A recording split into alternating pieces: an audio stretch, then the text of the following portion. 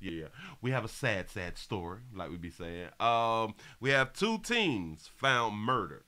Two teens found murder, and I think they was both 14 years old. Here we go. I didn't know that they was two young boys at the age. They they the same age like my grandson. A tragic story on the South Side with two young lives taken by gun violence. Police tonight are still working to figure out what led to the two 14-year-olds being shot dead in an alley this weekend. There's a lot to sort out. Nate Rogers is live now with the story. Nate. That's right, Dawn. And Scott, a lot to sort out indeed, as police are not releasing a lot of official details just yet. We know that this was a very brazen shooting happening in broad daylight on yesterday. Authorities still trying to find, find the gunman involved.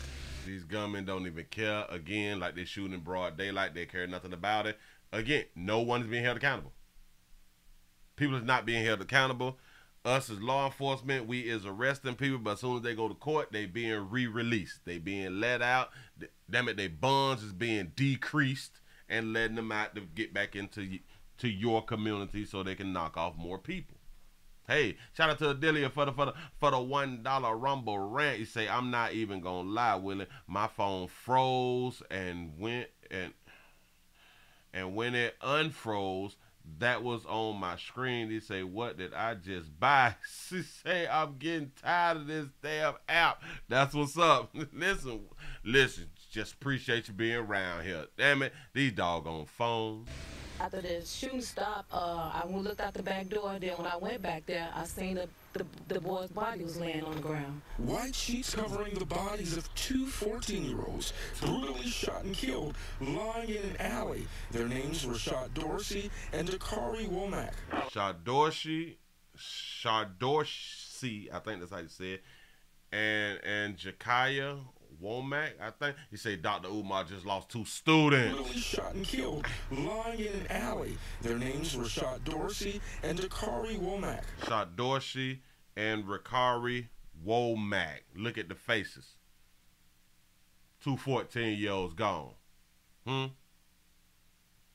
It's a shame. there's four male blacks about 14 to 15 years of age were trying to steal the neighbor's vehicle out of the alley. According to sources, police received a call that four men were trying to break into a resident's vehicle. After being confronted, the men ran into the alley. Witnesses told police they heard gunshots immediately after. My daycare child was walking out the door when the shooting was going on. And thank God that, you know, nothing did happen to her. Caller reporting a male found unconscious in the alley, bleeding from the head. There's also a second male laying underneath the vehicle. It happened just before 2.30 p.m. at 89th and Cottage Grove Sunday. The crime scene was filled with more than 30 bullet casings. There are at least three child care businesses located in the immediate area. Neighbor if there's three child care businesses lo- located in the immediate area, that tells us that y'all babies be pushing out these goddamn babies. Y'all monkeys is working properly out here in these streets. Y'all got so many kids in the community that they have three daycare centers damn near on the same block. Nancy Johnson is calling for more police patrols. I mean, it's three daycares over here. And it seems like that we don't have no protection when we get to walk out this door. You know, we just, it's on, we on our own. And all we have to do is pray. That's all we can do. Say we own our own. All we can do is pray. Do y'all understand by her saying there's nothing we can do and all that we can do is pray?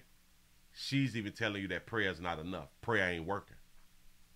I know, I know, Willie, but she didn't say that the way that she said that, hold on, I'm going to let her say it herself.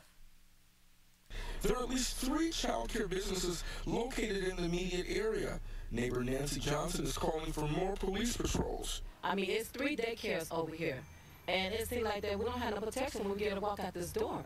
You know, we just, it's on, we on our own. And all we have to do is pray. That's all we can do. We own our own and pray. That's all we can do. She know that that praying ain't working because they been praying. Dog, you folk been praying. Prayers ain't working.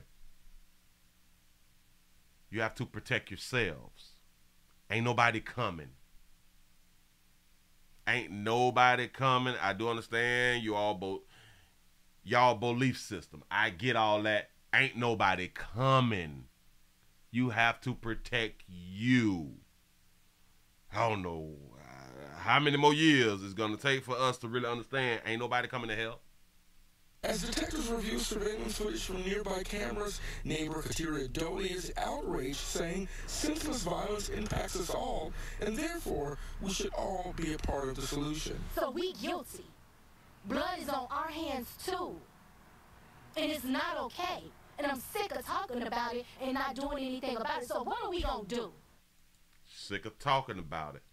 But listen, haven't I told y'all about this right here? When you have your money in the game, when you got a foot in the door, when you got the damn it, when you is in the community, when you paying taxes and property taxes, your whole mindset shift. Now I'm not saying that you have to um I'm not saying that in order for your mind to shift, you need to um, be invested in the community. You do not, not all the time. There are some people who is not invested who actually do care about the community, but that's a small goddamn few. But when you invested in the damn community, you want the BS to actually get from around them. When you're doing business, you want the BS to get from around you.